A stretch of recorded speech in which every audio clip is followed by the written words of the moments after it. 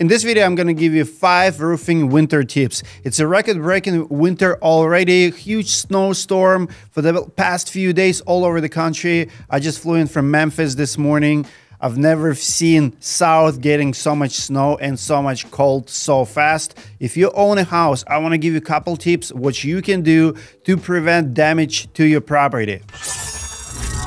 Number one, pay attention to snow load on your room, especially if you live in an area that usually doesn't get a lot of snow. Maybe it looks good on the driveway, you can shovel there, but the roofs are not designed for heavy loads of snow and snow can be very, very heavy. It might look good, cool at first to have a nice white blanket on your roof, but that blanket, that white stuff, white snow will capture all the rainwater later and if your roof is not designed for it, it might sag, it might damage your plywood, your shingles. Believe it or not, roofs do leak in the winter. Once it start melting, you're gonna get in trouble. So if you did get a lot of snow, please rake it, try to remove it, pay attention to it. Number two, pay attention to ice dams. If your attic is not properly insulated, you're gonna start seeing ice dams forming around perimeter of your house.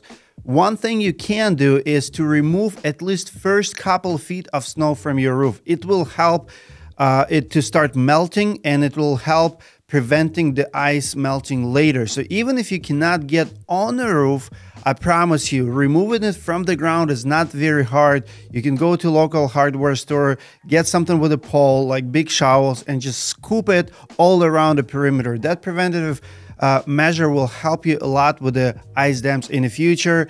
You might need to get on the roof and remove the rest of it, but at least get the snow right from the uh, around perimeter, right from the eaves. Number three is the most important tip today. Make sure you seal your attic access. Make sure you look at your can lights. Any penetration from your ceiling to the uh, attic is super important. If hot air is escaping in your attic when you have a snow on top of it, number one, you will get those ice dams. Number two, you will get condensation underneath the deck. You want to prevent it. In 2015, we went to Boston, and one of the houses we were working on pretty much did not have insulated uh, attic door and it was slightly open. Within three days, they have so many ice dams. It took four guys um, day and a half to remove. Cost $13,000 to the homeowner. They have huge icicles, looks like tree all around perimeter. Absolutely destroyed the back of the house because it was resting on little addition on top of the skylights. You want to prevent it. And all of that happened because their access attic door was slightly open. So all the air rushed into the attic, was warming it. Uh, heater was working on a regular basis and it was melting slowly snow from the top and creating ice dams around. So you want to make sure everything is sealed. If you have not been in your attic for a while, you want to open that uh, attic and see if it even has insulation. Home Depot sells this little kit. It's like little pocket you can install from the top. You can buy a little insulation. You can seal it. Whatever you have to do uh, this is the time to do it because when it's so cold outside your heater constantly working and the air will always race to the top and it will find a way to your attic if something is not sealed.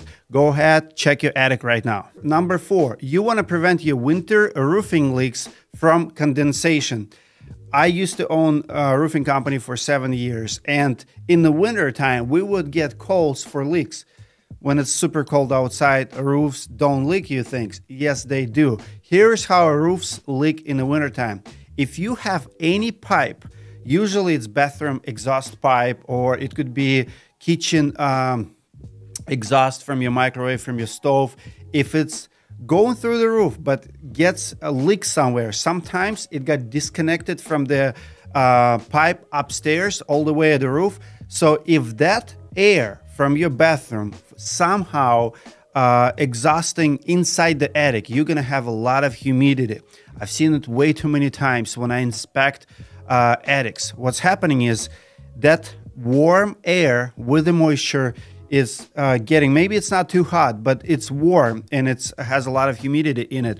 If it's uh, getting inside your attic you're gonna have a lot of moisture underneath your deck. It will freeze when it's cold outside.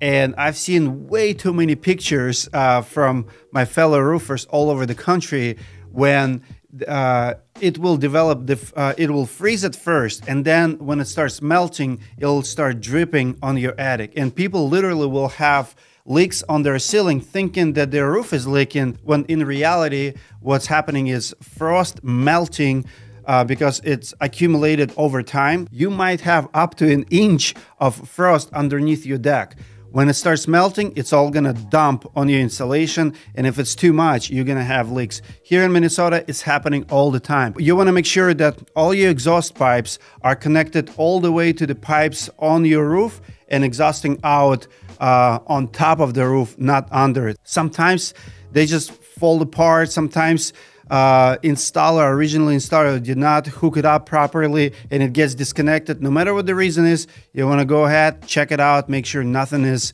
uh, venting into your attic. And number five, check for all the pipes around your house. It could be um, your garden hose outside. Sometimes pipes are too close outside and they might get busted. So while it's on outside, if it's too cold and if your house does not have good insulation, you might have um, bust in a wall, or sometimes they go through the ceiling. I've seen uh, a lot of leaks that comes from the pipes upstairs.